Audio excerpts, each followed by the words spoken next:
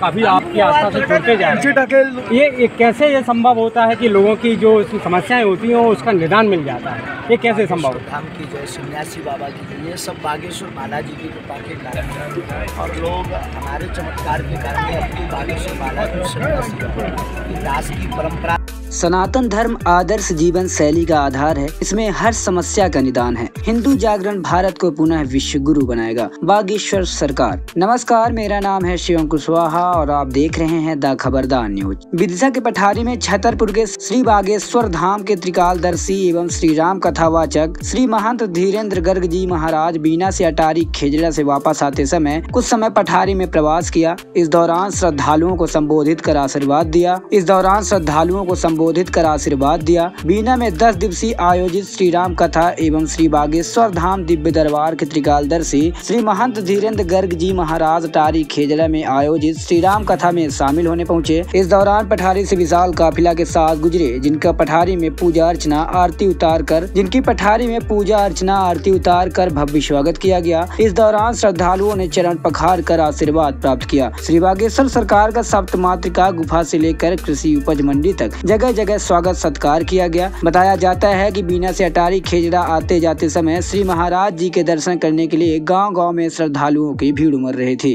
पत्रकारों से चर्चा करते हुए कहा कि लोगों के भविष्य और समस्याओं का निदान मेरे द्वारा नहीं किया जाता है। यह सब संभव श्री हनुमान जी महाराज, श्री बाघेश्वर धाम एवं श्री सन्यासी बाबा की कृपा एवं आशीर्वाद से संभव होता है। सनातन धर्म में श्रद्धा, आस्था और भक्ति में बहुत शक्ति होती है, जिससे असंभव कार्य भी संभव हो जाता है। शास्त्र और इतिहास बताते हैं की धर्म स्थापना के लिए संत महात्मा हमेशा आगे आए हैं। बुंदेलखंड जाग रहा है, हिंदू जाग रहा है। भारत को पुनः विश्व गुरु बनाने के लिए हर संभव प्रयास किए जा रहे हैं। युवाओं को अपने माता पिता और गुरु के प्रति श्रद्धा आस्था रखनी चाहिए। बढ़ते नशे पर आक्रामक होते हुए कहा कि युवाओं को नशे से दूरी बनाकर रखनी चाहिए। श्रद्धालुओं ने पठारी में दिव्य दरबार आयोजित करने का आशीर्वाद लिया। विदिशा पठारी से हमारे रिपोर्टर आशीष सहेले की रिपोर्ट। देखते रहिए द खबरदार न्यूज़।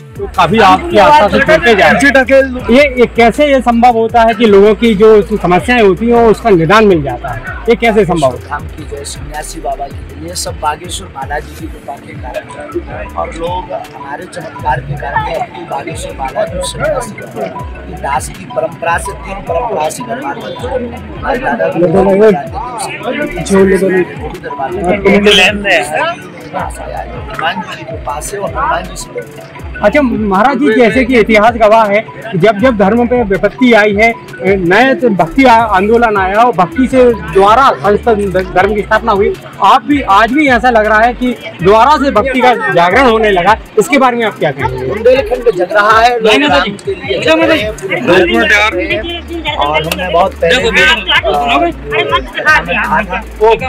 हैं हो रहे हैं इसका परिणाम पूरे भारत की सड़कों पर पूरे भारत के सनातनी मजदूरों के दिलों पर दिख रहा है चेहरे की मुस्कान युवाओं को क्या संदेश है? युवाओं से यही कहना है माता पिता और गुरु के आदर्शों पर